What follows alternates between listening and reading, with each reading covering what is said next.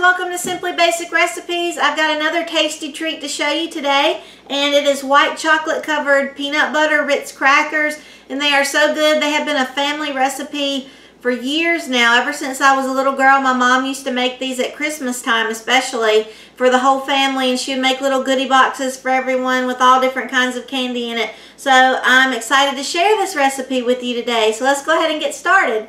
First thing, you're going to need some Ritz crackers some peanut butter, I prefer Jif, and some white chocolate um, candy coating. You're going to want the white chocolate that gets hard whenever you put it in the fridge for just a few minutes. And you can use Wilton white candy wafers, candy coating wafers, excuse me, but I prefer almond bark and it comes from Walmart or any other regular grocery store that you go in I'm sure would have it but it's in little blocks like this and it's called almond bark and it's really really good and you can just break off the few little squares that you want and then just tie the rest of it up and use it for later.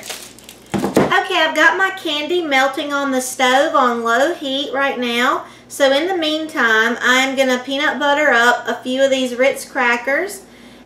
Now I prefer to only have one Ritz cracker with the peanut butter on top of it as opposed to putting another cracker on top and making a little sandwich out of it because personally I like more of the peanut butter taste.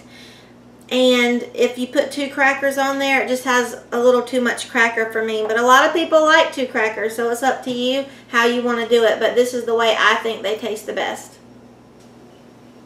Okay now what I'm doing now is I have my chocolate melted and I'm just going to dump these in here. Peanut butter side up obviously and just coat them with my little candy stick. Barely coat them because you don't want the um, peanut butter to get loose in the chocolate and make it brown. You want it to stay white and pretty. But shake off the excess chocolate. You can see it dripping off here whenever I hit it against the side of the um, pot. And then sit it on your wax covered cookie sheet. And you're going to do all of these the same way and then put them in the refrigerator for about 10 minutes or so and they will be done. So dip it in there real quick, pull it out, shake off the chocolate, drop it on your cookie sheet. Alright, the cookies have had a chance to harden and this is what they look like and there is the center of the cookie and they are so delicious.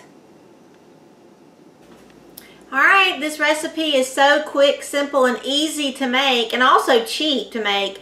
And it makes a ton of cookies. I just used one roll of the Ritz crackers and still had half a thing of chocolate left. And I got this many cookies out of just half the chocolate. So can imagine how many you'll get if you use the full block.